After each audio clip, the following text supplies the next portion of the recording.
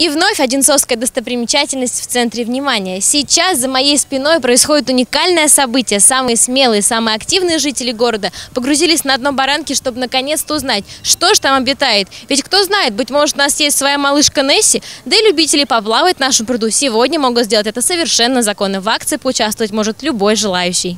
На Баранке уже неоднократно проводились очистительные работы. Так, например, в конце этого лета пруд был очищен от водорослей и тины. Такого рода мероприятия, как подводный субботник, проводятся на озере всего лишь во второй раз. Впервые он прошел в 2007 году. Для того, чтобы проводить очистку регулярно, многого не нужно. Главное – желание. Впервые в Можайском районе участвовали.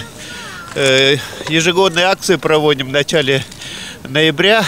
Э, Всемирный день очистки водоемов. Чего только не нашли аквалангисты, ныряя под воду. Знак «Купаться запрещено», продуктовую тележку, скейтборд, тротуарную плитку, часть от игрушечной коляски, машинки и даже шайбу. Некоторые жители удивлялись найденному и, не стесняясь, забирали с собой сюрпризы со дна баранки на долгую, а возможно и вечную память. Постоянно гуляем и хотим, чтобы пруд был чистый, красивый. Также для всех тех, кто был готов почувствовать себя профессиональным аквалангистом, выдавалось снаряжение и проводился небольшой инструктаж. После экспресс-курса отважные одинцовцы погрузились в баранку и начали свой рейд по очистке достопримечательности. Железобетонные блоки, какие-то камень. Вот здесь вот камень лежит большой, не знаю откуда взялся.